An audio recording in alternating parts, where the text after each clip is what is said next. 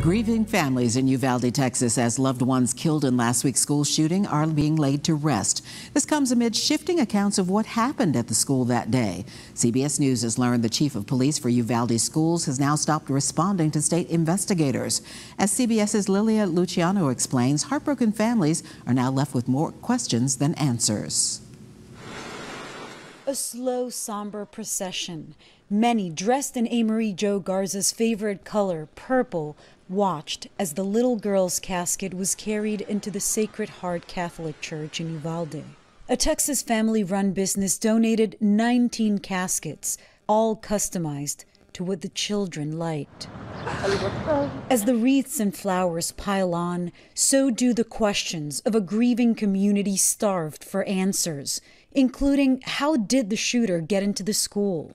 Authorities initially said the shooter walked in through a side door left propped open by a teacher. That same teacher walks back to the exit door and door remains propped open. But that teacher's lawyer now says she shut it when she learned there was a gunman. On Tuesday, DPS said that was true. The door was closed, but did not lock when shut like it was designed to. But among the loudest questions is why did it take 75 minutes for law enforcement to confront the killer? This is a parent's nightmare.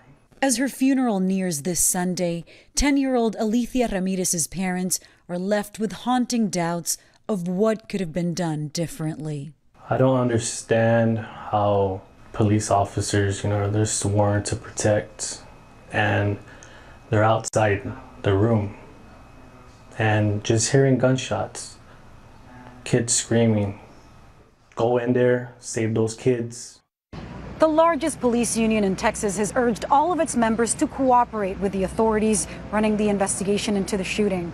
Today will be the funeral for Jose Flores, the 10 year old whose family we met last week, including his sister, Andrea, who survived the shooting and who told us he wanted to be a police officer to protect people from bad guys. It's also the funeral for teacher Irma Garcia and her husband, Joe, who died just two days after the shooting of a heart attack that family said it was more like heartbreak.